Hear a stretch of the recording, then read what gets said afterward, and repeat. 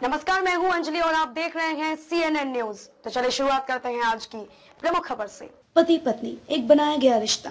पहले कभी एक दूसरे को देखा भी नहीं था। अब सारी ज़िंदगी एक दूसरे के साथ, पहले अपरिचित, फिर धीरे धीरे होता परिचय। धीरे धीरे होने वाला हृदय स्पर्श, फिर नोकझोंक, झगड़े, बोलचाल बंद, कभी जिद, कभी अहम का भाव। फिर धीरे धीरे बनती जाती प्रेम पुष्पों की माला। फिर एक जीवता, दो शरीर, वैवाहिक जीवन को परिपक्व होने में समय लगता है। धीरे धीरे जीवन में स्वाद और मिठास आती है। ठीक वैसे ही जैसे, अचार जैसे जैसे पुराना होता है।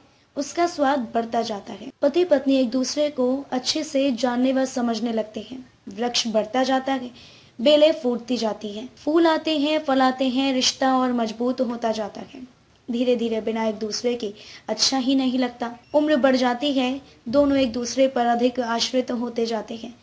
एक दूसरे के बगैर खालीपन महसूस होने लगता है। फिर धीरे धीरे मन में एक भय का निर्माण होने लगता है। ये चली गई तो मैं कैसे जीऊँगा? ये चले गए तो मैं कैसे जीऊँगी? अपने मन में घुमड़ते इन सवालों के बीच जैसे खुद का स्वतंत्र अस्तित्व दोनों भूल जाते हैं। कौन कहाँ का?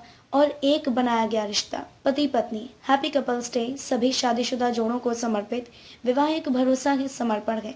तारीफ़ उस स्त्री की जिसने खुद का घर छोड़ दिया, और धन्य है वो पुरुष जिसने अनजान स्त्री को घर सौंप दिया। खबरों में अब तक के लिए बस इतना ही। मिलते हैं फिर ऐसी ही किसी प्रमुख खबर के साथ। तब तक के लिए नमस्कार और देखते रहिए सीएनएन न्यूज़